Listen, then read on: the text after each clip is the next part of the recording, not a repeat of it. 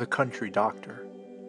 In recent times, the country doctor of pioneer days has become a colorful figure for biography and fiction. To have known him, to have lived next door to him, is to recall his kind countenance, his fast horse, the mud spattered buggy, the readiness to serve his patients in town or far country by night or day, and to serve without much thought of the fee, brings up a contrast with this our own time and the economic pressure on all professionals who are compelled to forget sentiment or serving for its own sake and think of fees first. From Types of the Old Hometown by Art Young.